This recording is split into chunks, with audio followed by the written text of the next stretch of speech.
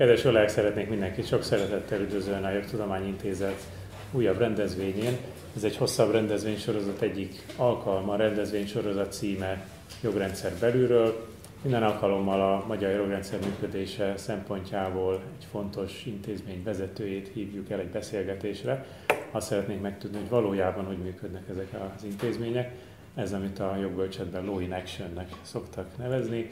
Tehát milyen eh, financiális, mentalitásbeli vagy intézményi korlátok vagy lehetőségek azok, amiket érdemes tudni ahhoz, hogyha meg akarjuk érteni az adott intézmény működését, nyilván az adott jogszabályi környezeten túl.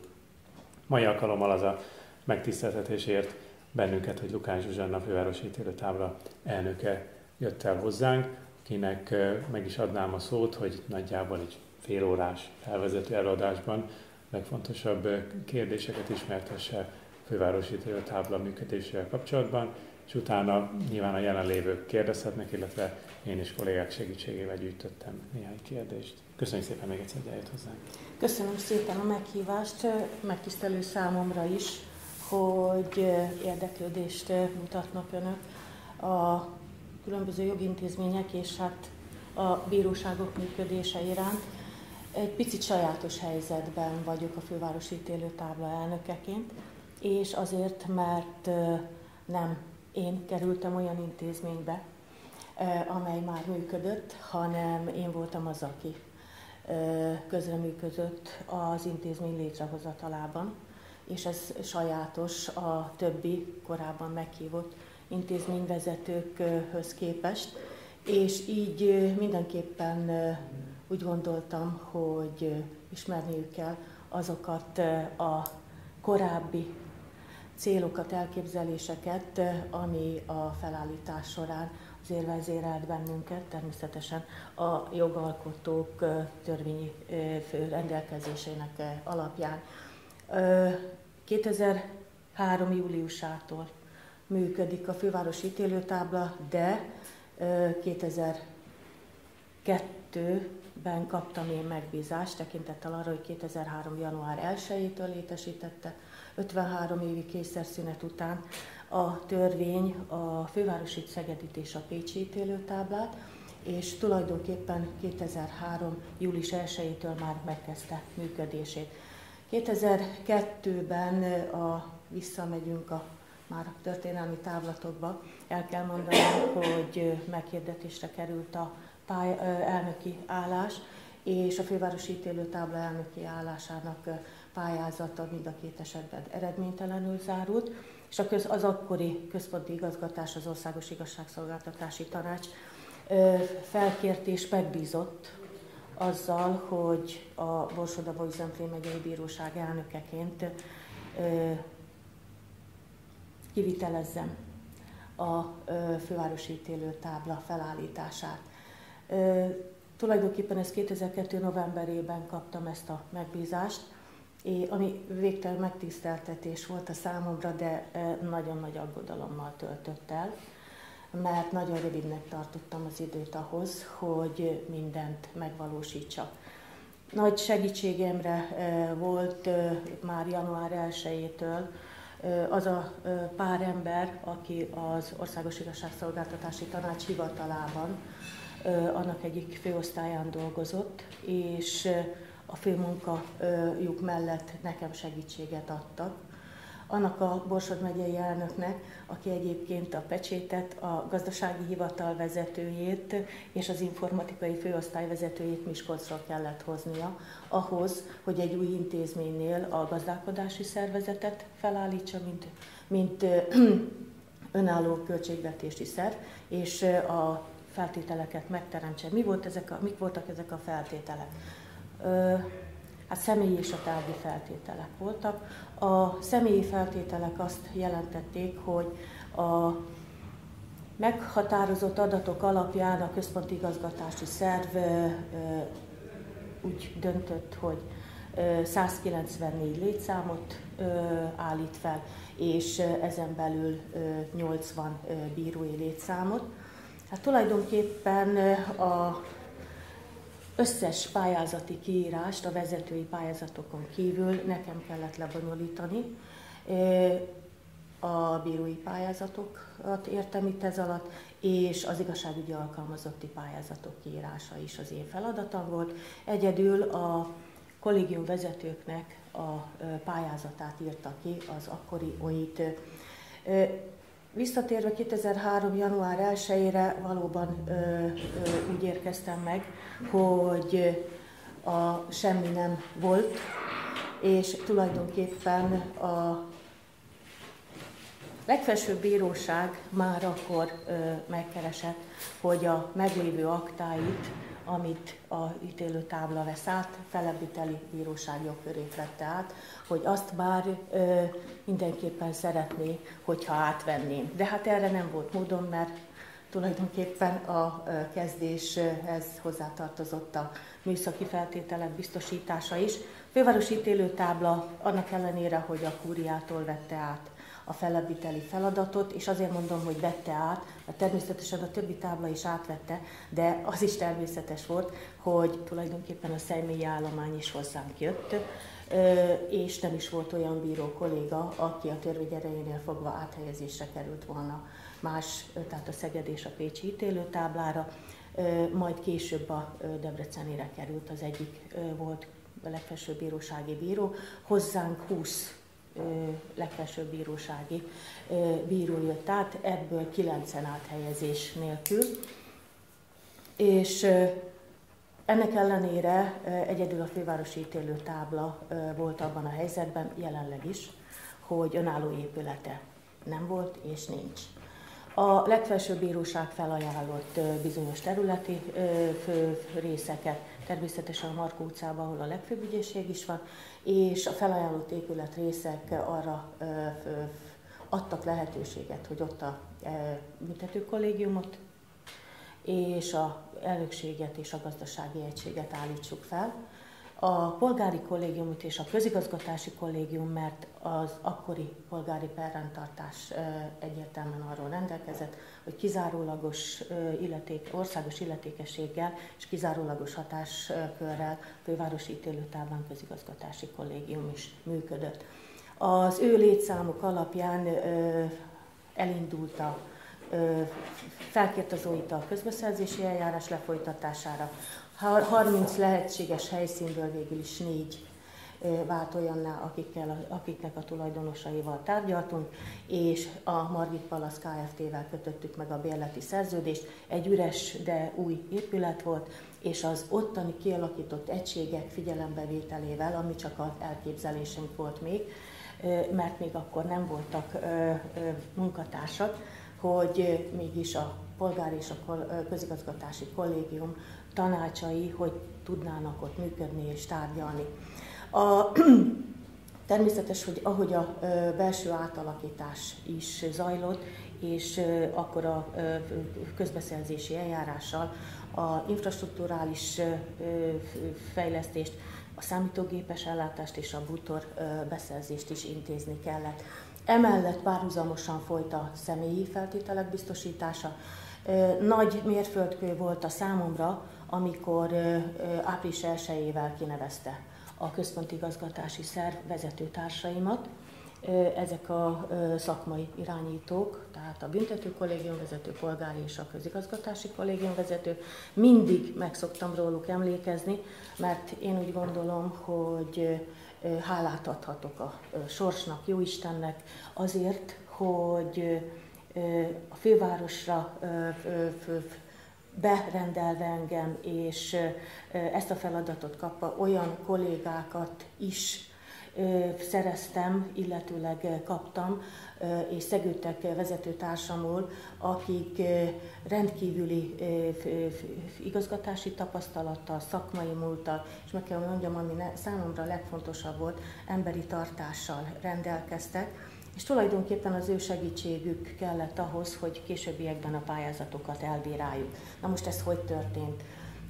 Ezt csak most az összehasonlítás tükrében hozom fel, és az emlékeket azért egy picit felelevenítem, hogy a tanácselnöki pályázatokat az ország valamennyi törvényszék kollégium vezetői véleményezték, majd a tanácselnöki pályázatok véleményezését követően én a kollégium vezetőkkel közösen adtam javaslatot az OIT-nak a tanácselnökök áthelyezésére, mert a kinevezés az én, tehát az ítélőtábla elnökének a jogköre volt.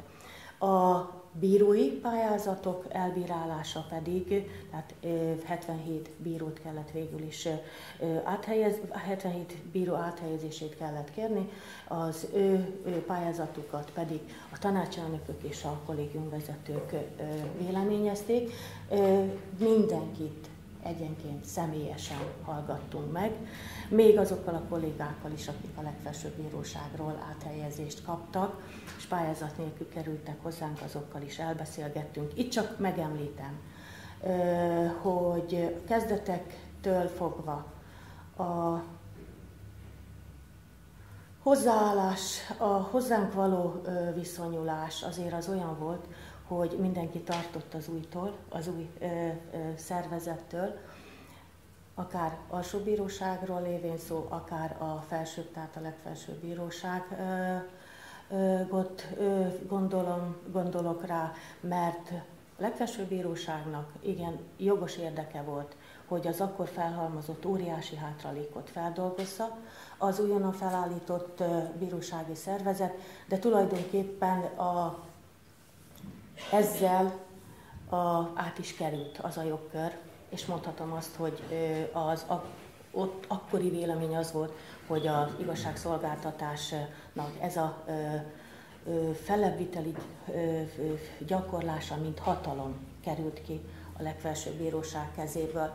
Tehát a legfelsőbb bírósági bírók azzal, hogy áthelyezésre kerültek, ők eléggé rossz fő, fő, és rossz kedvel érkeztek hozzánk. meg? Igen. Annak ellenére, hogy a címüket és a pótlékukat megtartották. Más kérdés, hogy a későbbiek során azért ők a megmondhatói, de ezt tudom tolmácsolni, hogy úgy élték meg, hogy az ítélőtáblán történő működésüket, sokan azóta már nyugdíjba mentek, hogy az életük legszebb időszakát töltötték az igazságszolgáltatásban a fővárosi ítélőtáblán. Tehát ehhez azért hozzátartozik, hogy megbékéltek azzal a gondolattal, hogy az ítélőtáblára kerültek. A Pályázat nélkül, de folyamatosan érkeztek a kérelmek az igazságügyi alkalmazottaktól, akiknél is hát megint csak több száz kollégát kellett meghallgatni, és végül is a, az a második mérföldkő a vezetőtársak kinevezése után az, az volt, amikor a beosztott 75 bíró, és azért mondok 75-öt, mert még elnök és elnök helyettes akkor ö, nem volt ö, megpályáztatva. Május 1-ével ö, tulajdonképpen szolgálati viszonyt létesített. Ö, mindenképpen ö, azért szólnik arról, hogy a pályázat elbírálása során kifejezetten az volt a álláspontunk, hogy objektív, minden szempontra kiterjedő véleményt hallgassunk meg, illetőleg ilyen vélemény fogalmazódott meg, ilyen szempontok alapján került sor az elbírálásra. Kitűzött célunk az volt, hogy a szakmaiság mindenek felett, a közösség, közösség érdeke szem előtt tartva, és az egyéni érdeket mindenképpen kirekesszük. Természetesen a legfontosabb elvünk pedig a tisztességes eljárás elve volt. Azon túl, hogy nyilvánosnak is tartottuk, mert az egész ország számára nyilvánvalóvá vált a központi igazgatás áthelyezése folytán, hogy tulajdonképpen kik azok a bírák, akik átkerültek. Mint ahogy mondtam, hogy a 194 álláshelye végül is betöltésre került, az elnöki álláshely az megbízással, és az első özbírói értekezletet 2003 májusában meg kellett tartani, ahhoz, hogy júliusban induljunk. A harmadik mérföldkő pedig a számomra az volt, amikor július 1-én már a működés megkezdését ünnepélyes keretek között bejelenthettem. Ez természetesen megelőzte az, hogy az irodák felállításával a legfelsőbb bíróságról nagy mennyiségű akta érkezett, és ezeknek a ügykezelése és a bírák belépésével az akták áttekintése, tárgyalások kitűzése azért már megkezdődött.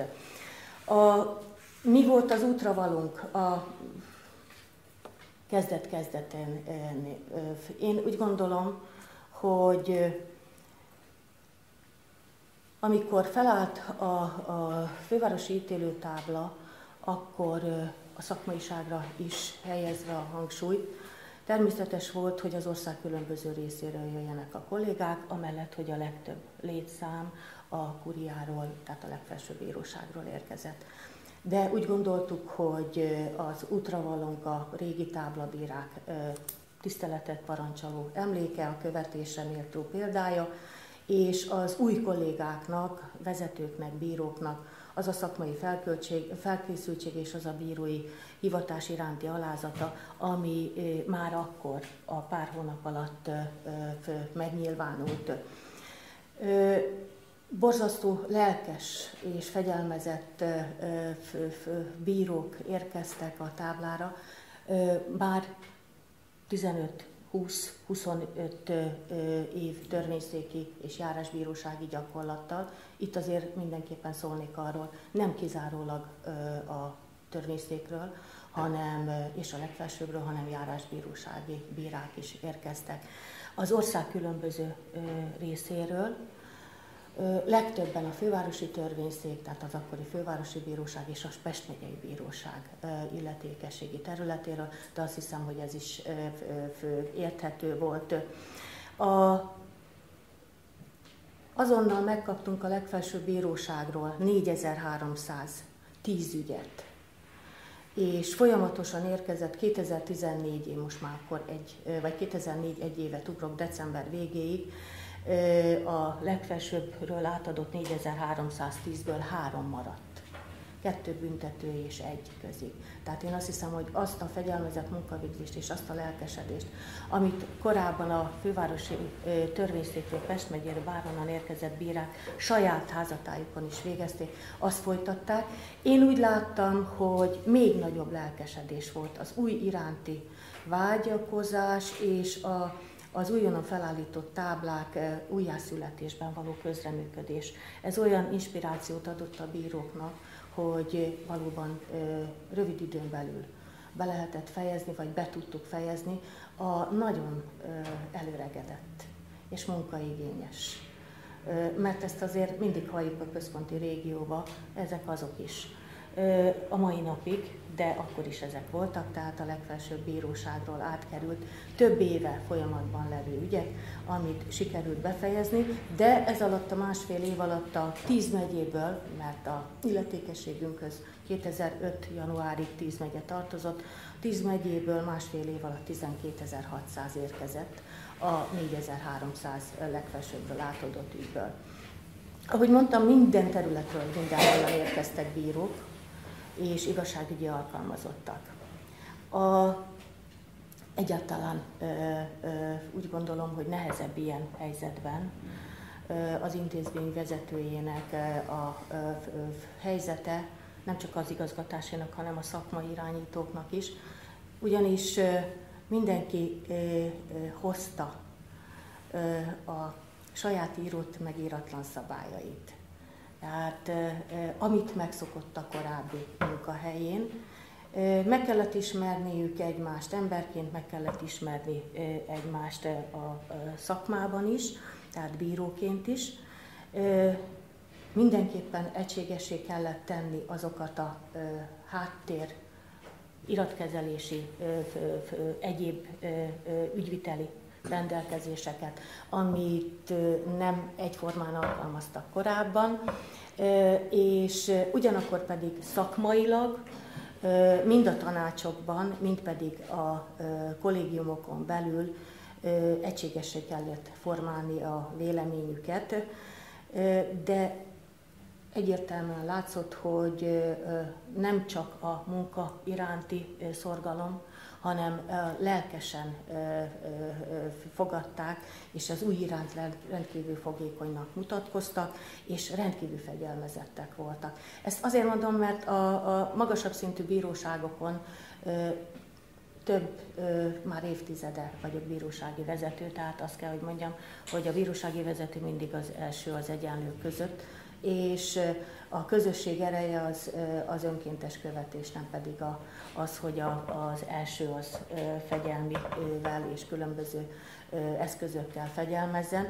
Tehát én úgy gondolom, hogy a, ez a bírói kar rövid időn belül valódó, valódi szellemi közösségé vált és kovácsolódott, és, és alkotó kisközösségé alakult, amellett, hogy, hogy be kellett az új bírósági szervezetnek illeszkednie az akkori szervezeti rendszerbe, meg kellett találni a helyét, hogy a működésével illeszkedjen mind a alsóbíróságok, mind pedig a legfelsőbb bíróság tevékenységéhez. Hát ez volt a kezdet. Én úgy gondolom, hogy a feltételek megteremtése, ami mondom, rövid időn belül kellett, hogy megtegyük, sikerült. Tehát elindult, nem kellett azt mondani, hogy, hogy nem tudjuk megindítani, és azt, amit július 1-én 2003-ban bejelentettünk, ezt követően már csak a feltételek megszilárdítására kellett koncentrálni. És hát az összekovácsolódás a, a, a, a bírák között, azért nem csak a munkában adtunk rá erre lehetőséget, hanem a kiegyensúlyozott, fegyelmezett munka arra is adott időt, hogy egymásra is fordítsuk a szabadidőt. Sokszor voltak olyan rendezvények, a mai napig is vannak inkább házon belül, olyan közösségi rendezvények, amelyek azért kerültek megszervezésre, hogy ismerjék egymást. A Markó utcában és a Fekete Sasi épületben, tehát külön épületben a mindennapokat nem egymással töltő munkatársak, a büntető kollégium tagjai és a polgári és a közigazgatási kollégium tagjai voltak kirándulások, mint hazánkon belül voltak külföldi kirándulások, tehát nagyon sok összejövetel volt, és ezt mindenképpen azért említem, mert amellett, hogy kemény munka folyt folyamatosan, a hangulat is jó volt, tehát a, ez a bírók és az alkalmazottak visszajelzése alapján egyértelmű volt. Én úgy gondolom, hogy és a tíz éves évforduló alkalmával meg is tudtuk állapítani, hogy a mind az eljárásjogi kérdésekben, mind az anyagi jogi kérdésekben, amely a bírósági szervezetbe való beillesztést jelenti, nagyon sok probléma és nagyon sok jogkérdés felmerült. Voltak olyan kérdések a szakmai kollégiumon belül, amelyek olyan álláspontot hoztak, amit a kúria, tehát a legfelsőbb bíróság is elfogadott, és aztán a visszajelzések a jogkereső közönség részéről és a szakmai berkekben is az volt, hogy tulajdonképpen tekintélyt és tiszteletet hívott ki magának az újonnan létrehozott ítélőtábla. Én úgy gondolom, hogy ma már, tehát 12 éve a működésünk óta nem csak azt mondhatom, hogy a régmúlt elődök és a nagy elődök példaképe, hanem most már sok olyan már nyugdíjba vonuló kolléga is van, aki eh, példaként állítható fel a minket követő nemzedékek elé, mert eh, és jelenleg is olyanok vannak, akik kivételes szakmai felkészültséggel és egyértelműen a hivatás iránti alázattal eh, dolgoznak, ami a hivat, amely hivatás szeretet azért biztosítja itt a, ezen a nehéz pályán a helytállást. És erre szükség volt. Ugyanis az a ö, fegyelmezett időszak, ö, amikor ö, a hátralékfeldolgozás megtörtént, folyamatosan érkeztek törvényszékről az ügyek. Tíz törvényszékről 2005-re öt törvényszék maradt a Győri és a Debreceni ítélőtábla felállítása kapcsán. Hát a minket mindenképpen befolyásol, nem csak a jogszabályi környezet, tehát ami érinti a bíróságok működését, hanem természetesen az a végrehajtói hatalom, vagy a törvényhozói hatalom, amely természetesen befolyásolni tudja a bíróságok működését. Hát ez befolyásolta 2012-ben, mert az a törvényi rendelkezés, amely a kényszernyugdíjazásról szólt, az a felső bíróságokat érintette, köztük a fővárosi ítélőtáblát a legmélyebben. Nem véletlen azért, mert, ahogy mondtam is, 20-25-30 éve szolgálati viszonyjal rendelkező és álló bírák kerültek a bíróságra, bár itt azért meg kell említenem, hogy három-négy év működés után, miután az első év után nagy volt a fluktuáció, és egy-két betegség miatti nyugdíjazásra sor került, azzal szembesültem, hogy az első éven nem áll meg a személyi feltételek biztosítása, mert megy a mozgás, azóta is folyamatosan a kúria is az ítélőtábláról, elsődlegesen a fővárosi ítélőtábláról helyez át bírókat, ami természetesen megtiszteltetés számunkra, de ez azt is jelenti, hogy pótolni kell a ö, ö, kollégákat. És az a változás, amivel szembesültem, azt hozta, hogy újabb és újabb, tehát fiatalabb generációkat is támogattunk a pályázat elbírálásánál. Kezdettől fogva ennek hangot is adtam, és sok olyan értékes kolléga került a tanácsokba, akik a szemléletükkel és természetesen majdani utódlási lehetőséggel élve azóta is működnek a tanácsokba. Ennek ellenére hát sok kollégát érintett a nyugdíj, nyugdíjazás.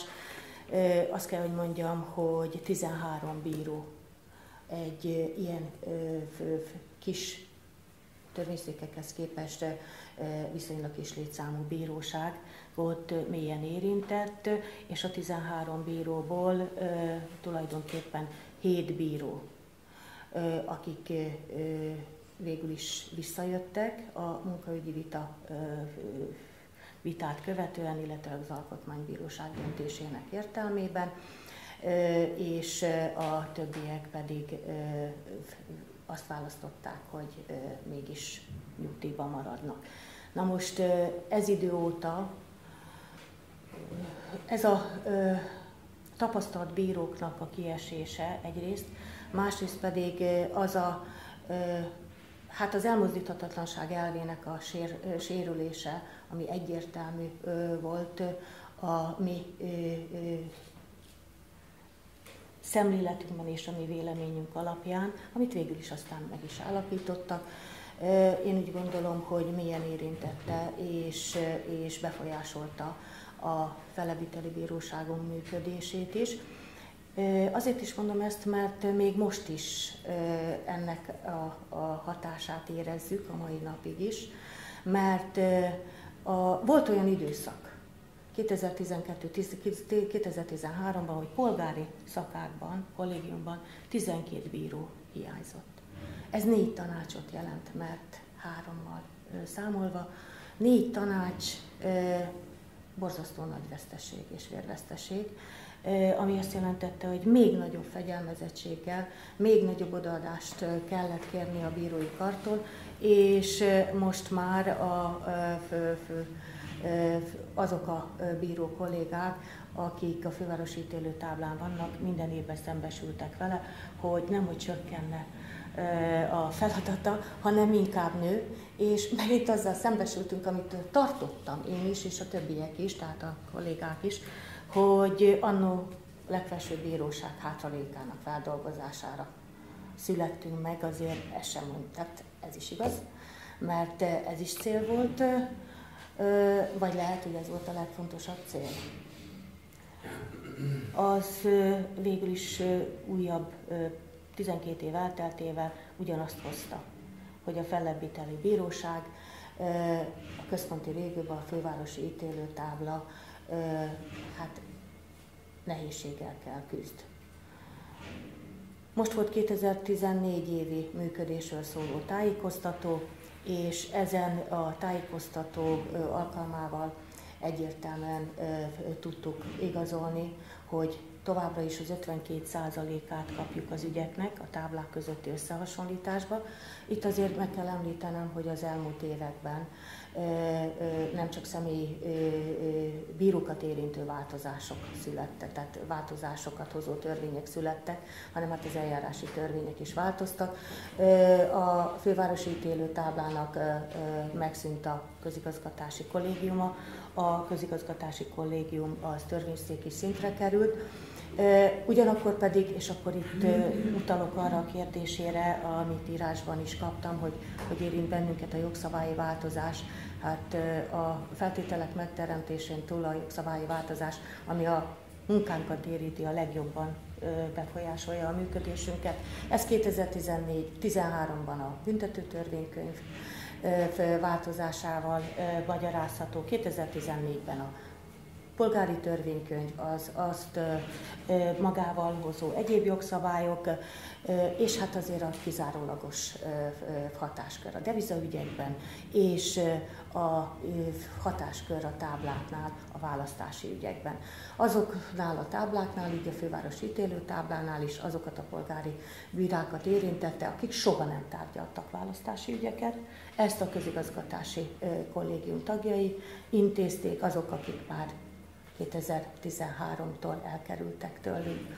Tehát ez megint csak újabb kihívás elé állította a bírói kart, és igazából a 2014 éves tájékoztatóban is, írásban is leírtuk, hogy még a kényszernyugdíjazásból eredő álláshelyek betöltése teljes mértékben nem következett be, és emiatt is, meg a központi régióba történő nagy mennyiségű ügyérkezés miatt is, tehát jelenleg nehéz helyzetben vagyunk, annak ellenére, hogy tudom, biztos, hogy ismert önök előtt is, hogy általában a bíróságokra, általában a táblákra csökken az ügyérkezés, de az, ez a csökkenő ügyérkezés a mi elemzésük szerint elsődlegesen inkább annak köszönhető, hogy az iratkezelési szabályzat változott, tehát másképp kell a peres és a nem peres ügyek iktatását rendeznünk,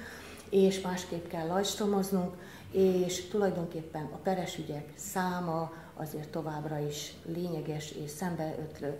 A főváros tábla például a másodfokú peres ügyérkezésben 64,97%-át viszi el a táblák összperért felérkezésének. 64,97%-át. Na most a segítség mind a Debrecen, mind a Szegedítélő tábla kirendelése az ottani székhelyel végzi a feladatokat, 100-100 ügynek, peres ügynek az elintézésével, ami igen érezhető, főleg büntetőbe, de polgáriba azért, el hogy mondjam, két hetes érkezésnek felelt meg az, amit tulajdonképpen 8 hónapig kirendelés alapján a vidéki ítélő táblák kirendelés alapján besegítettek. Tehát annak ellenére, hogy most 2014-ben sokkal több befejezésünk volt, és csökkent is a hátralék. Tehát azzal, azt kell mondanom, hogy a,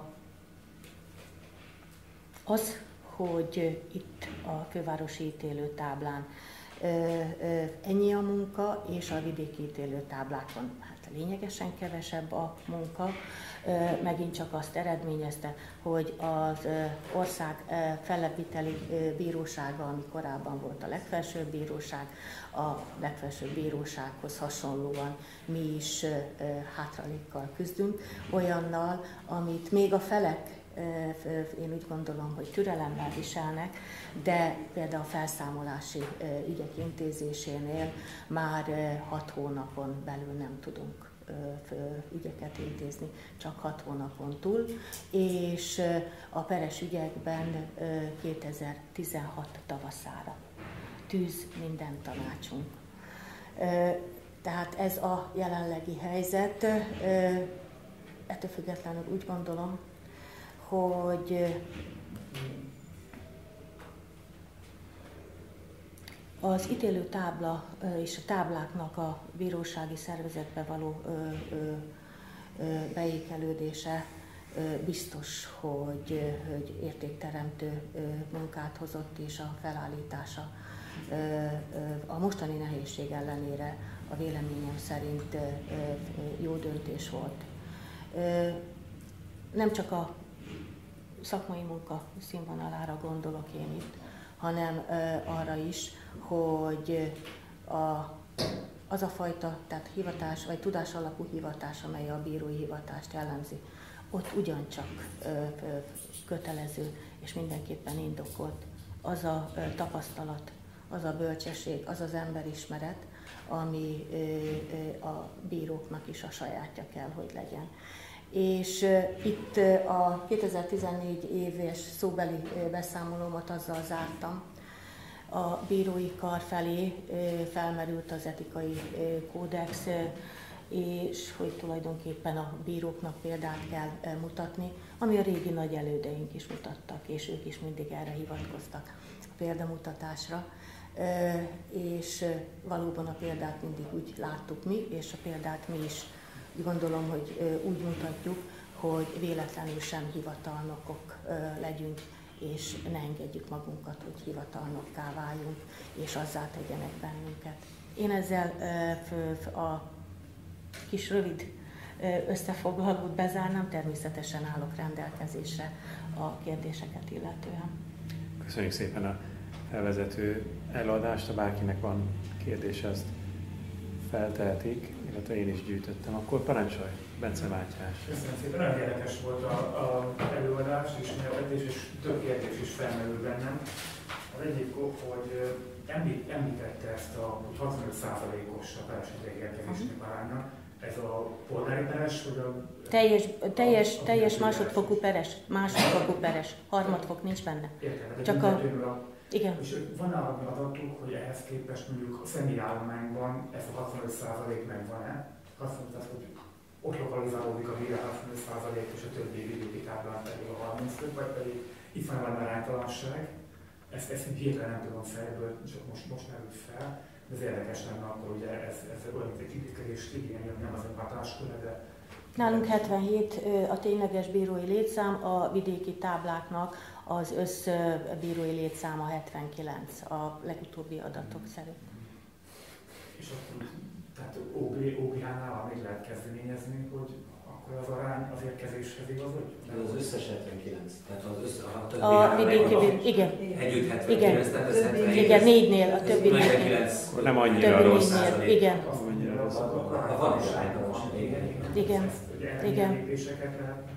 A másik pedig az inkább egy elvi elvi kérdés, hogy mi az teher, mi a érthető a kirendelések, hogy a hogy a vidéki távolíróság rendelnek ki, de ez a feleknek a jogait annyiban nem érint, hogyha ott, ott székhelyel tárgyalják, akkor le kell utaznia, és akár, mint akár porreg, ha pervesztes lesz, vagy elítélik, akkor a perköltséget pedig kell viselni, a költséget kell viselni. Ez ahol betenosságban nem tudom, hogy van-e még ilyen szabály, nem, de ilyenkor ez, akkor ez, ez, a, ez a költség? Nem, ugyanúgy a költségek felmerülnek, eh, függetlenül attól, hogy fővárosi ítélőtábla ként működik a Szegedi és a Debreceni ítélőtáblai bíró. A költségeket megállapítja, mind az utazási, mind a, a kirendelt védői költségeket. Ez ö, ö, utána a ö, mi költségvetésükbe úgy jelenik meg, hogy nekünk kell viselni.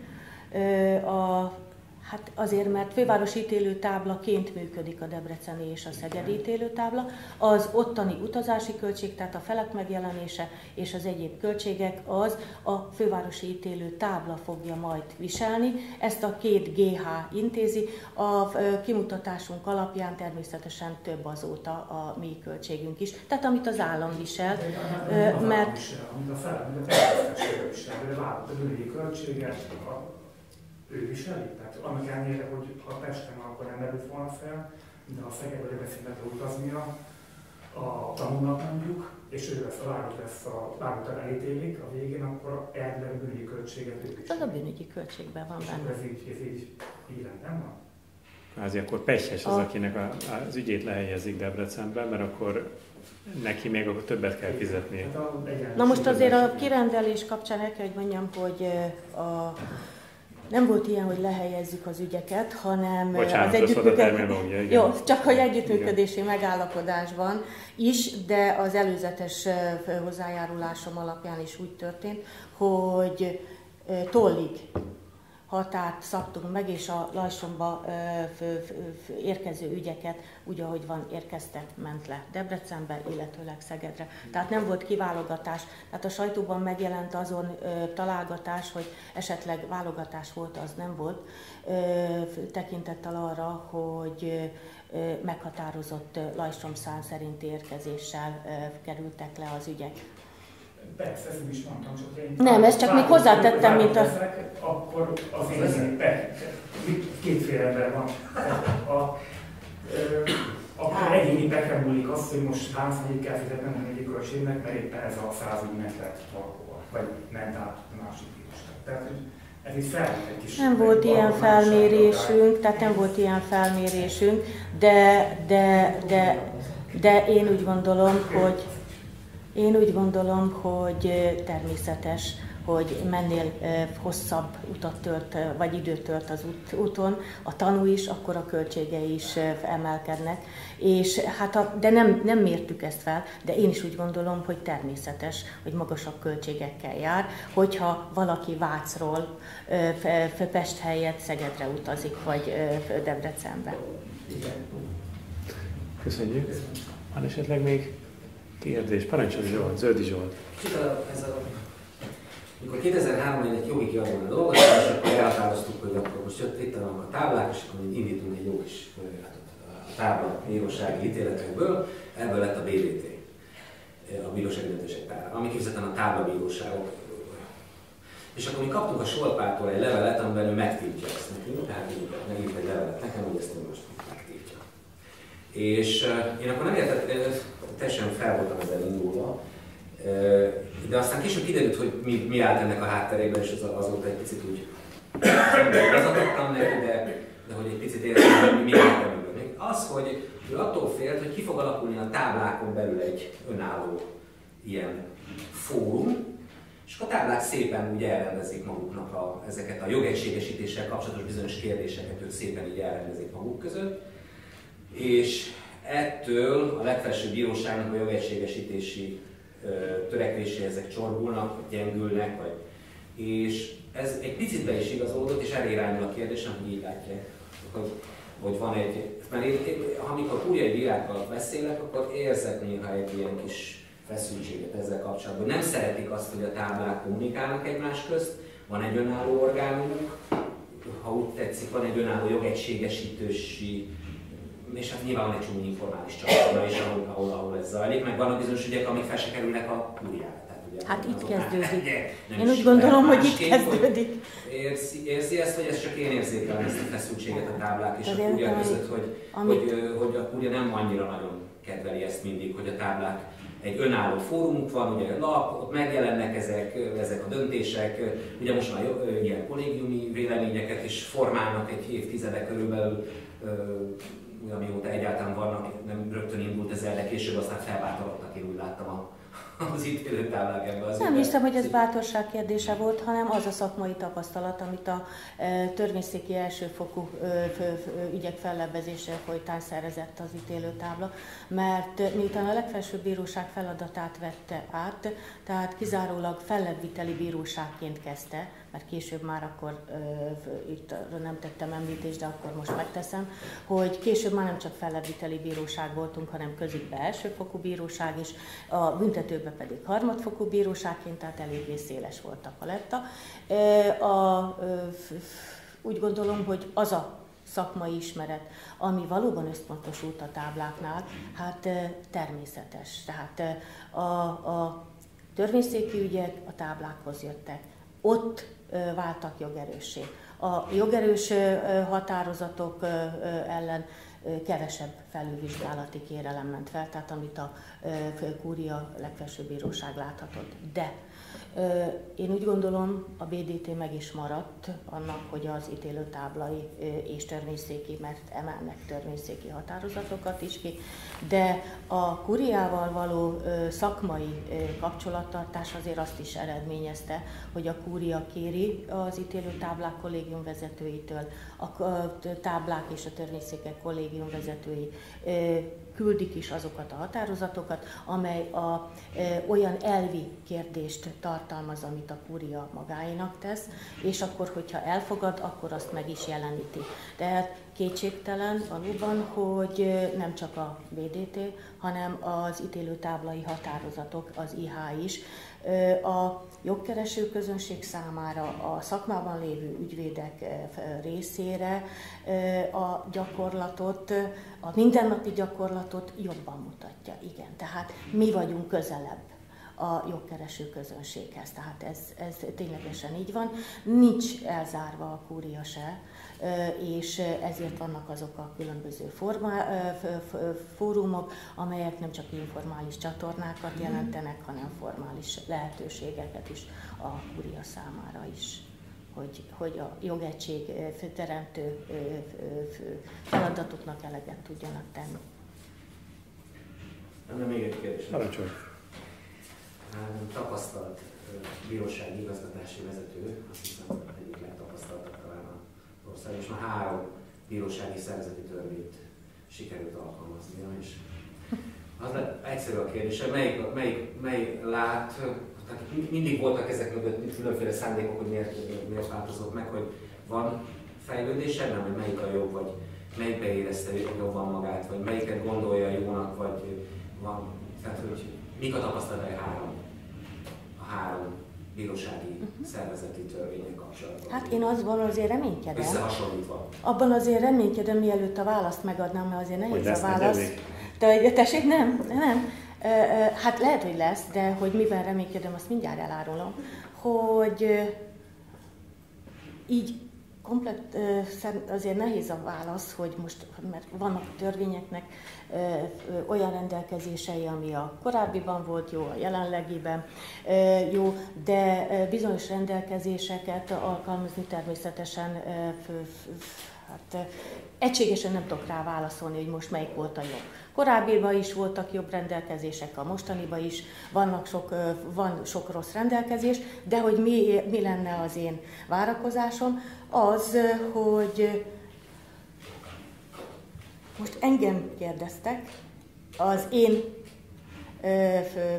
intézményvezetői véleményemet várták bizonyos kérdésekben, de az elmúlt időszakban azért az egyetemek, főleg a korábbi szervezeti törvény, jogállási törvény alkalmazását vizsgálták az egyetemek.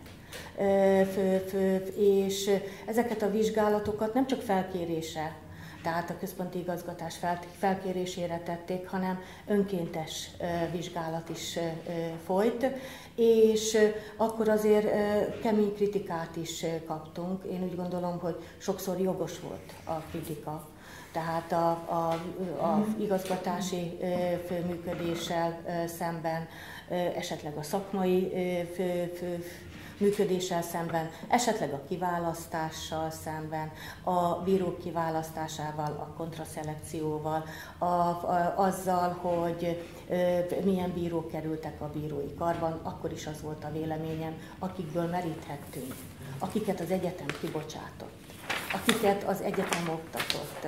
Tehát azokból tudtunk meríteni, és továbbira is azon a véleményen vagyok, hogy most nem látom azt a nagy érdeklődést az egyetemek részéről, vagy nem látom azokat a vizsgálódásokat, persze tisztelet a kivételnek, mert hát ez, ez is nagyon, tehát olyan érdeklődés, amelyik valóban az első számú embernek a véleményére kíváncsi, de az, azok a, az egyetemi felmérések, azok mérehatóbb vizsgálatot igényeltek, és hangot adtak bizonyos kritikának. Tehát itt van Matyi, itt van a, a volt irányítója is, hogy most óvatos kérdéseket is hallottunk a részéről. Annó azért sokkal keményebb kérdésekre is futott a, a Bence Matyi részéről, annak idején, amikor ilyen fórumok találkozójára került sor. Puha vagy, Matyi. Akkor is szervezeti kérdések, én korábban sem a csinálták a szervezettel kapcsolatos kutatásokat. Én a gyakorlatot vettem bocsra, ahogy azt most is teszem, tehát az el lehet ugyanúgy folyni. Csak keményen. Múlt, múlt évben is volt egy, egy, egy ilyen, mikor ezzel kapcsolatban nyilvános volt, tehát a most erre rájönni, meg meg is fog jelenni, tehát nem, nem, ez nem. gyakorlat, ez bíri gyakorlat. Most, most, most a szervezetről, mert a Zsolt is arról tett fel kérdést, tehát kifejezetten a szervezet, hát nem csak az, hát a, a nem csak az el, tehát a, a, a, a minden, mindenki, nem, igen. Nem, nem, nem akarok feltétlenül adni, szeretném feltétlenül kellemetlen helyzetbe hozni, csak hogy ugye volt az OIT rendszer, meg van az OBH rendszer, most melyik a jobb? Ennél, ennél egyszerűbben nem tudom feltenni a kérdést, elnézést kérek. Vagy akkor nem, visszaszívjam, kivágjuk? A, ezt nem tudjuk kivágni a én értesüléseim alapján, de nem lehet összehasonlítani úgy a kettőt, hogy mert Zsolt azt mondta, hogy az OIT meg az OBH.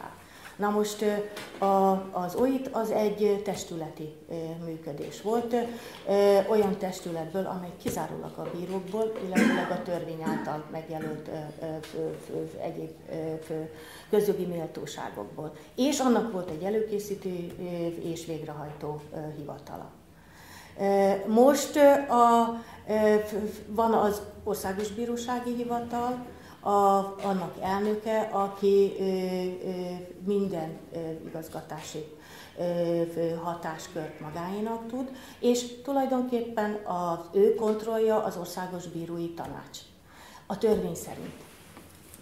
Na most én úgy gondolom, hogy lehetőség lesz majd a különböző elemzésekre az Országos Bírói Tanács működése kapcsán, hogy ezeket a kontroll tevékenységeket hogy tudjuk gyakorolni.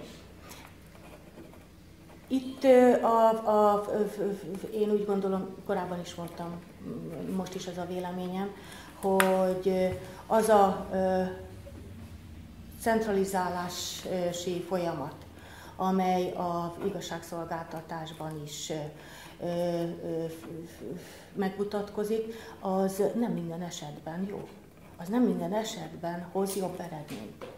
Tehát a mindennapi igazgatási gyakorlatban sem. Tehát van, amit azért a decentralizálás azért jobban és hatékonyabban működtet. Tehát ez a véleményem erről. Kicsit akkor még fokoznám ezt a kérdéskört, hogy most már ide ebbe belefutottam. Ha meg kellene nevezni mondjuk két-három olyan pontot, ami a 2012 utáni rendszerben jobban működik, és két-három olyan pont, ami rosszabbul működik, mint a korábbi rendszer. Tudna ilyet mondani, hogy hát igen, ott javulás történt, ott meg, ott meg rosszabbodás történt. Ha egy kicsit, akkor azt mondta, hogy így általában nem lehet akkor így fel tudnánk bontani egyes pontokra, hogy valami, mi az, ami ön szerint esetleg jobb, és mi az, ami ön szerint rosszabb. Tud ilyet mondani? Biztos, hogy jobb, hogy a működtetés az láthatóbb. Tehát a, a nyilvánosabbá vált. De ez természetes is a internetes korszakban, az elektronizálás időszakában, de nem csak ennek köszönhető, hanem azoknak a ö, különböző témaköröknek, azoknak a stratégiai elképzeléseknek, amit itt egyébként a önök előtt is az OVH elnöke felvetett, a nyitott bírósági programnak, azoknak a programnak, a, amely a fiatal generációt, tehát a, a, a jogászhallgatókat is bevonja a mindennapi működésbe, ami valóban mindennappá vált, tehát a mindennapok gyakorlatává vált. Tehát úgy gondolom, hogy ez közelebb hozta, én úgy gondolom, a jogkereső állampolgárokat. És van is érdeklődés. Tehát én nekem az a visszajelzés, hogy van érdeklődés. És feltételezhető, hogy későbbiekben ez eredménnyel is zárul, mert jobban érdeklődik majd a joghallgató, illetőleg a középiskolás a jogkar felé, és a joghallgató majd a bíróság felé. Eddig is volt, de most ez valóban egy picit hatékonyabbá vált. A, azt mondtuk annak idején, hogy a testületi működés hogy van 15 fős testület, és oda kerül az előkészítés után a döntésre az anyag, hogy egy picit lassítja, lelassítja a mindennapi igazgatást. Itt nem láttam javulást, tehát mhm. azért nem olyan, tehát nem vált hatékony, nem vált gyorsabbá. Tehát vannak olyan területek, ahol mi magunk is látjuk, hogy késedelembe esünk. Tehát ezt én, én, én, én nem láttam javulásnak. Hát, vannak még olyan pontok, amelyek én úgy gondolom, hogy hatékonyságot szolgálták, de még kevésbé látványosak, vagy még nem ért a képzés. Tehát a képzés az fontos. Természetesen ez jelenleg az akadémia feladata, a központi képzés, de most egyre több feladatot kap a helyi képzés. Tehát az önképzés természetesen kötelező, de a helyi képzés is, és ez egyre több bírót von be. Tehát ez is jó, hogy minél több bírót von be, csak a bírónak elsődleges feladata és kötelessége természetesen nem a másiknak a képzése, hanem az önképzés és az ítélkezés. Tehát itt a képzésnél biztos, hogy ha, ha így folytatjuk, akkor lehet, hogy sokkal eredményesebb lesz. És mi az, ami kifejezetten nem jól működik? Ön szerint van olyan pont az új törvény, vagy akár a gyakorlati működésben, ami ami ön szerint nem, nem szerencsés? Tudna esetleg egy-két ilyen példát mondani? A fővárosi tábla hát, hogy általában az során, én, én általában nem mondom, tehát én csak a mhm. fővárosi tábla mindennapi gyakorlatát látom, és én, én ott éreztem nehézséget, és most is ott látom azt, hogy nem volt kellő időben lépés és intézkedés ez a pályázatoknak, a, tehát a létszámoknak a meghatározásában. És itt indult az első kérdés, és itt visszatérek rá, hogy igen, kezdetől fogva az volt az elképzelés, én szerintem ez még mindig folyamatában van, hogy a meglévő létszám kell-e oda, ahova telepítették. Ha nem, akkor milyen szempontok alapján kerüljön sor annak megállapítására, hogy melyik bíróságnak mennyi létszám szükséges. De ehhez természetesen én úgy gondolom, hogy a, ahogy a működésünket nem csak a létszám, hanem a jogszabály változás is befolyásolja. Nagyon nehéz akkor meghatározni a létszámot.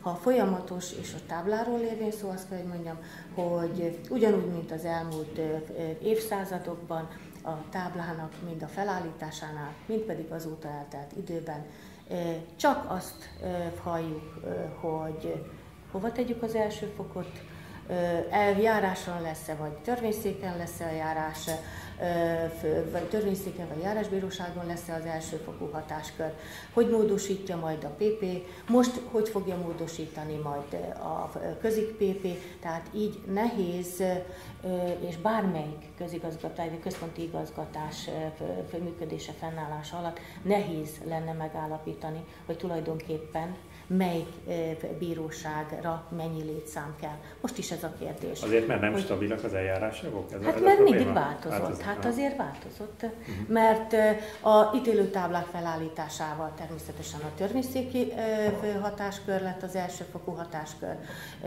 a nagyobb ügyek arányában. Most pedig már változott a pertágyértéke, változott a bizonyos hatásköri szabályok is, a büntető eljárási törvény rendelkezései folytán is, és már csökkent a törvényszéki hatáskör, ennél fogva törvény, táblai hatáskör is, ami ha most változik majd a hatáskör, akkor megint csak azt mondom, hogy az ítélő táblának a munkája is változik, csökkent, tehát nem kell annyi létszám. Tehát ezt elsődlegesen ezt kell, én úgy gondolom a jogalkotóknak eldönteni, hogy a hatásköri változások hogy lesznek, és melyik lesz az elsőfokú hatásköri bíróság, járásbíróság vagy törvényszék.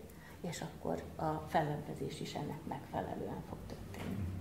Mennyiben ezt említette a, általában az, a, az a bíróigazgatással kapcsolatban, hogy a legnagyobb, legfontosabb eltérés szerkezetben, hogy korábban egy tanács volt, most pedig egy személy, akit az Országos Bírói Tanács kontrollál. Igen.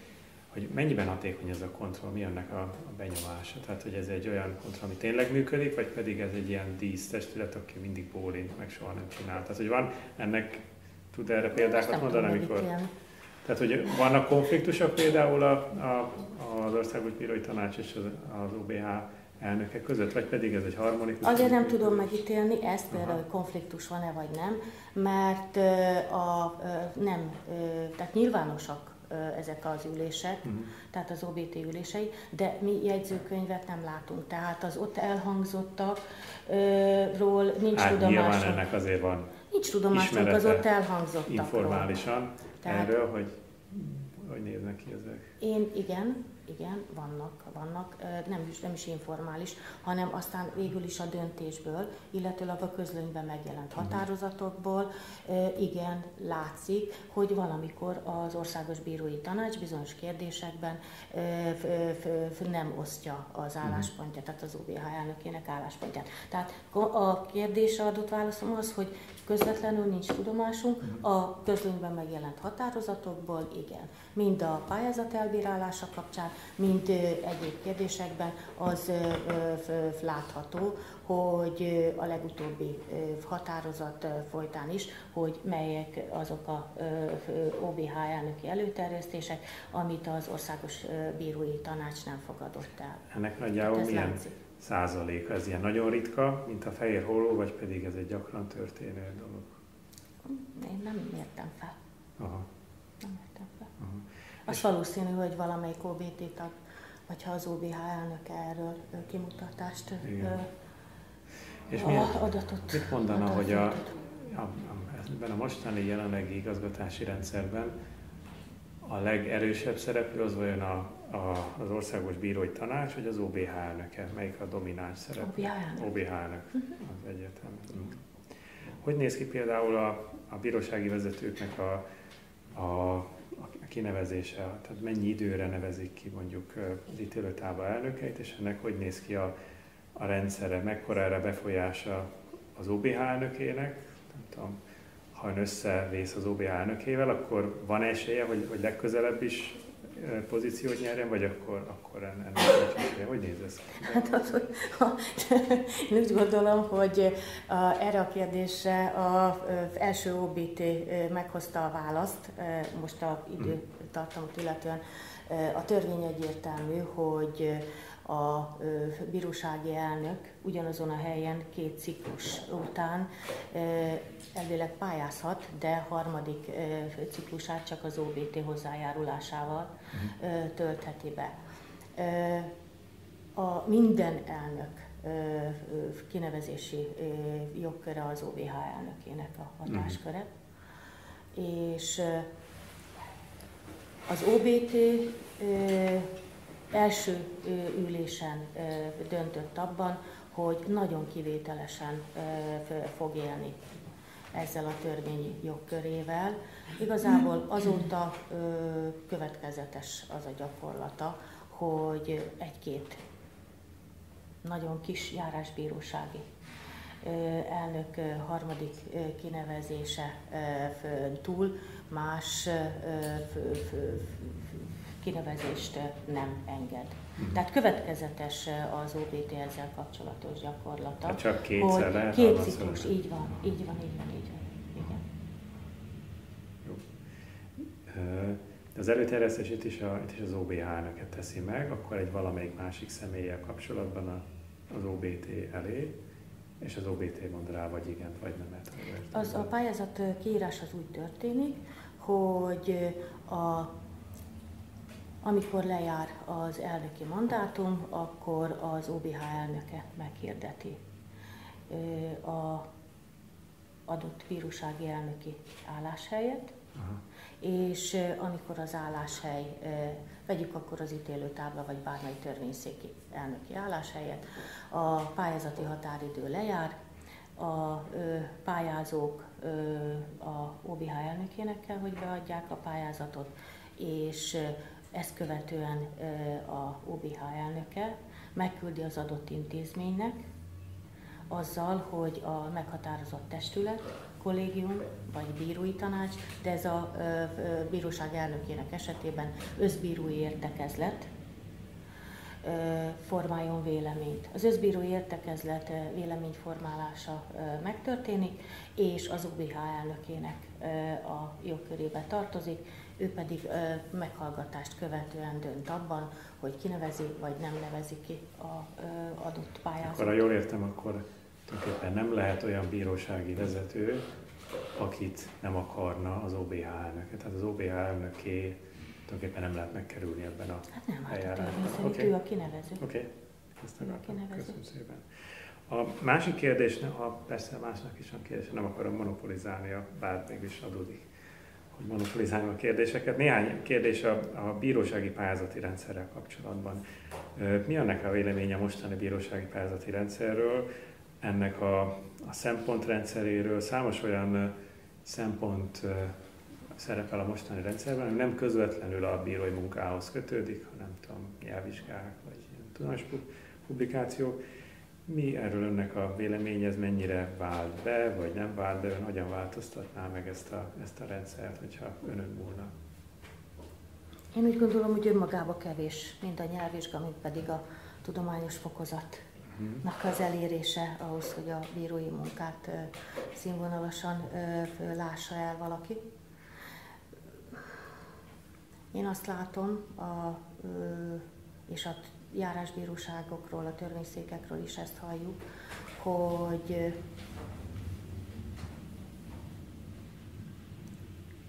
pontszáma, az objektív pontszáma lehet, hogy magas és be is kerül az adott bírósági szervezetbe, nagyon sok nehézséggel küzd. Tehát az a kolléga. Nagyon sok nehézséggel küzd, most itt a járásbíróságokról beszélek, a, hát a fellebbviteli bíróságon az ítélő tábláknál elsődlegesen azon szempont érvényesül, amely az ügyelosztási rend alapján, amilyen a magasabb szintű bíróságnak a fellebbezés elbírálása során szerzett gyakorlata szükséges, ismert, hozzáértésekkel természetesen lehet nagyon értékes és, és, és, és nagyon okos, de a, mindenképpen indokoltnak látjuk, és nehézséget üt, ügyet okoz a számára, hogyha a felebbitelbe úgy, úgy kerül be, hogy elsőfokú gyakorlata nem volt. Tehát ezt, mi ezt így láttuk ez a hosszú évek tapasztalatai alapján ezt tudom És akkor mit tartana jó rendszernek? Azt, hogy egy, egy plusz feltétel legyen, hogy néhány év ilyen elsőfokú bírósági gyakorlata legyen, vagy esetleg majd más? Hát ez azért általában érvényesül még most is, uh-huh. tehát a felevitelre pályázat elbírálása során. Amennyiben nem, akkor az OBH elnöke azt gondolom, hogy megfelelő módon megindokolja az OBT előtt hogy miért a másik pályázót látja indokoltnak. Ezt az indokot én nem ismerem, de azt hiszem a bíróság vezetői se ismerik. Tehát mi azt nem látjuk. Az OBT elé került, tehát előterjesztések nem ismertek a számunkra. Uh-huh. Tehát mi nem tudjuk, hogy adott esetben a bírói testület javaslatot tesz. Ezt a javaslatot a bíróság elnökeként elfogadom, indítványozom XY-nak, természetesen lehet magas az objektív pontszáma is, a szubjektív pontszáma is, de lehet és eltérhet tőle az OBH elnöke, aki megfelelő indokkal az OBT elé viszi.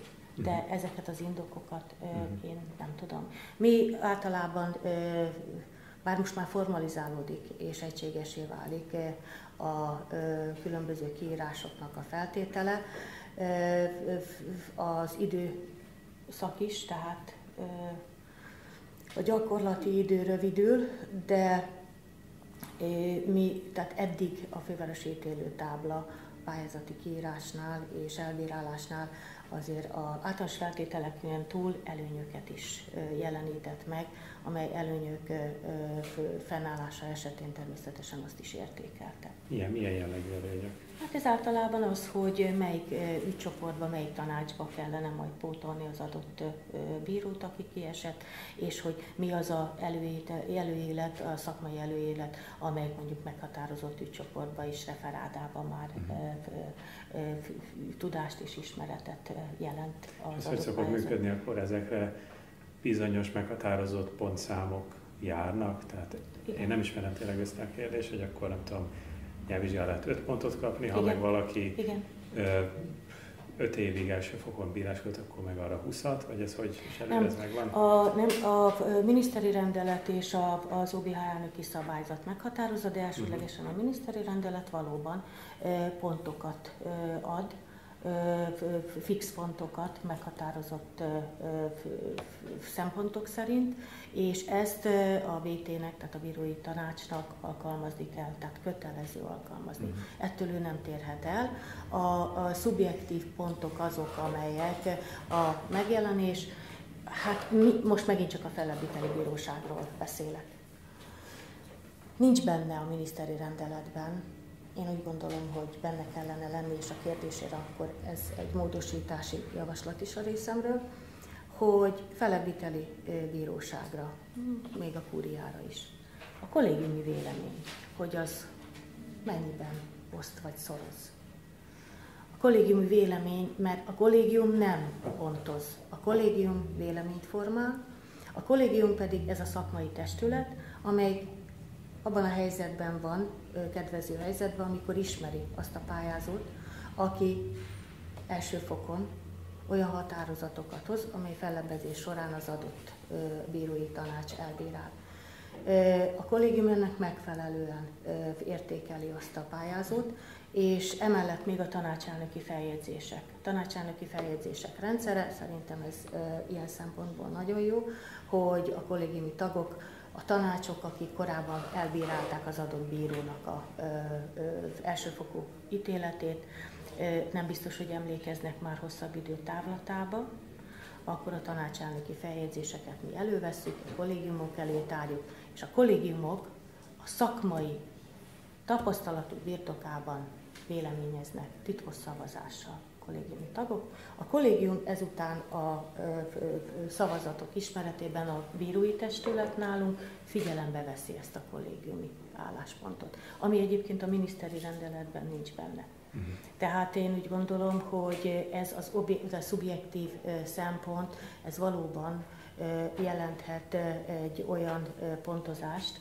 ami úgy tűnik, mintha a adott személynek a személyes megjelenését jelenteni csak, de nem azt jelenti. Mekkora Tehát nem csak a, nyíl, a, a pontok, hogy hogyan Hát ez most már újabb módosítás folytán a miniszteri rendelet szerint nem lehet magasabb, mint az objektív pont, pontok száma. Tehát igazából nem okoz, nem okoz nagy problémát és nehézséget. Tehát, tehát a, a szubjektív pontszám nem győzhet az objektív pontszámok felett. Uh-huh. Tehát ez korlátozva van. Ez jó van így, vagy? Hát az objektív pontszámot meghatározhatom én. Úgy gondolom, a szubjektívet nem. Uh-huh. Hát a szubjektív az miért van meghatározva, ami nem lehet több, mint az objektív. Tehát nekem ez valahogy hogy evidens. Uh-huh. A szubjektum azért az egészen más, és nem az adott bírói tanács tagjának a egyéni hangulatától függ, és egyéni véleménytől, hanem van egy testület. Annak a szubjektív véleménye. Persze az, hogy a pályázó éppen akkor milyen választ ad a felmerült kérdésekre, az számít. De ezek a kérdések azért nem olyan lexikális tudást igénylő kérdésekre adott válaszkeresés, hanem tulajdonképpen olyan mindennapi kérdések, amire egy általános intelligens ember, sőt, aki bíró, az meg tud válaszolni. Még egy kérdésem lenne, de ha másnak van, akkor nyugodtan a Ugye említette ezt, hogy a, a fővárosi téletábla az egyetlen, amelyiknek nincs egyetlen épül, vagy külön épülete, hanem tulajdonképpen szét van szórva különféle épületekbe. Hogy van erre valami terv vagy elképzelés, hogy hogyan lehetne ezt egy épületbe költöztetni, vagy erre nincs semmi konkrét? Hát most az a terv, hogy várakozás inkább, hogy amennyiben a kúria a Néprajzi Múzeum épületét megkapja, és ők átköltöznek, akkor esetleg a fővárosi ítélő tábla is egy épületbe kerülhet. De hát ez csak várakozás, az, hogy tervek mi van, azt nem tudom. Á, hogy a kúria most a épületébe kerülne, akkor a fővárosi ítélő tábla? Vagy hát menne? most is ott vagyunk, igen, tehát egy része, és részben. akkor a többi, igen. Többi hát költségkímélőbb lenne, de hát, hogy mi az elképzelés, az, azt nem tudom, a mi várakozásunk legfeljebb ennyi lehet. Reméljük, hogy erre sikerülni fog. Ha nincs több kérdés, parancsolj Misi, Tóth Mihály. Büntetőeljárás törvény kodifikátorai azt ígérik, hogy már a kodifikáció folyamatában is alaposabban, mint ahogy ez a büntető törvénykönyvnél történt, bevonják a jogalkalmazókat az elképzeléseik megvitatásába a harmadfokú eljárás tekintve a büntető eljárásban is bizonyos viták folynak-e kodifikációs bizottságban. Az összes büntetőügynek alig 2%-a kerül harmadfokra a jelenlegi szabályozás folytán. Igaz, hogy ezeknek a 80%-át a fővárosi ítélőtábla folytatja le. A két szélsőséges vélemény az az, hogy nincs szükség harmadfokú eljárásra az büntető eljárási törvényben, különösen, hogyha a rendkívüli jogorvoslatok rendszere olyan marad, mint amilyen most. A másik pedig kibővíteni a harmadfokú eljárásoknak a lehetőségét, például olyan esetekre is, amikor a korábbi ellentétes bűnösségi döntésen kívül a másodfokú bíróság döntene először szabadság elvonó szankcióról. Azt szeretném megkérdezni, hogy az ítélőtábla, a fővárosi ítélőtábla esetleg kialakított-e már valamilyen véleményt a harmadfokú eljárás lehetséges jövőjét illetően? A harmadfokú büntető ügyérkezésből a miénk 2014-ben 35,48% volt. Tehát ö,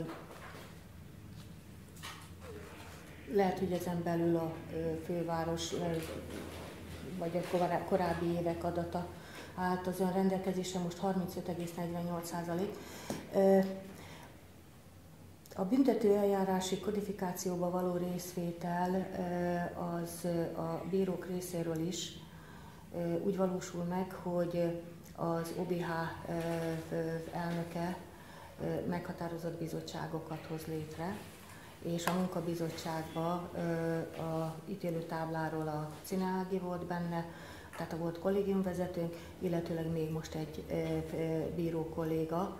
A kollégiumvezető szolgálati viszonyának megszűnésével ez a bíró kolléga van benne még nincs olyan stádiumban az én tudomásom szerint a munkabizottság munkavégzése, amely feladatául tette volna a bíróságoknak, így a táblának is azt, hogy a harmadfokú eljárásra kapcsolatban van-e álláspontja. Picit nehéz is most a helyzetünk, mert novembertől az alkotmánybíróvá lett Cine Ágnes utóda még nem találtatott meg, tehát a fővárosi ítélőtáblán nincsen olyan szakmai irányító, aki a büntetőkollégiumot most irányítaná. Ettől függetlenül, hogyha lenne ilyen kérdés és kérés felénk, akkor természetesen ezt a bírói kar megtenni, de még ilyen nem érkezett hozzánk. Még akkor egy apróság, ami az ember ihletet kap egy másik kérdéstől. A, ugye most ebben kapcsolatban is hogyan gyűjtik össze a, a, a véleményeket a bírói karban, hogy van erre valami ilyen rendszeresen, rendszeresített találkozó, mondjuk havonta egyszerűen találkozik Darák Péterrel, meg a már többi kollégium, vagy ítélőtábla vezetőjével, ahol megbeszélik az aktuális kérdéseket, vagy, vagy hogy működik a koordináció kúria és az ítélőtáblai szint között, akár inkább informális módon, ez, ez lenne az érdekes. Uh-huh, uh-huh. Tud erről Igen, a Darák elnök úr kezdeményezte, illetőleg hát a ítélőtáblák kezdettől fogva baráti jogot nyújtottak a törvényszékeknek a, a, a, ilyen találkozókra, amit egyébként a központi igazgatás minden alkalommal egy elnöki értekezlet keretében valósít meg. A kúriával a szakma mindig tartja a kapcsolatot, tehát a kollégiumvezetők részt vesznek kölcsönösen az egymás kollégium hmm. ülésein. Az elnök úr pedig az igazgatási vezetőkkel, amikor valamilyen rendezvény van, akkor találkozik, tehát ő is azért vidéki táblákra is elmegy, és van, amikor ő kezdeményezésére azért az öt ítélőtábla elnöke jön fel Pestre, vagyis hát a négy ítélőtábla elnöke, és én meg csatlakozom hozzájuk. Ez ilyen havonta, két havonta? Vagy? Nem, nincs, nincs ez, nincs ez előre Aha. meghatározva, igen, adhok. Már csak azért is, mert vannak egyéb olyan rendezvények, amelyeken amúgy is találkozunk. Az elnök úr a ö, vezetői értekezleteken, amelyet az OBH elnöke hív össze, ami ö, fél évente egyszer van, ő mindig részt vesz. Tehát ő is részt vesz. Tehát itt azért ő is azokkal az igazgatási kérdésekkel, ami, ami tulajdonképpen a kúriát nem érinteni, de a törvényszékeket, járásbíróságokat, táblákat, igen, ő azzal szintén szembesül. Tehát ilyen mm. szempontból azért úgy gondolom, hogy, hogy benne van. Tehát ő is ugyanúgy ö, ö, ö, ismeri a, a igazgatás, tehát a bíróságok problémáját, mint az a volt OIT elnök, aki egyben a legfelsőbb elnöke is volt. Tehát ismeri is. Köszönjük szépen, ha nincs több kérdés, akkor még egyszer szeretném megköszönni, hogy eljött hozzánk, nagyon érdekes volt. Én is köszönöm szépen.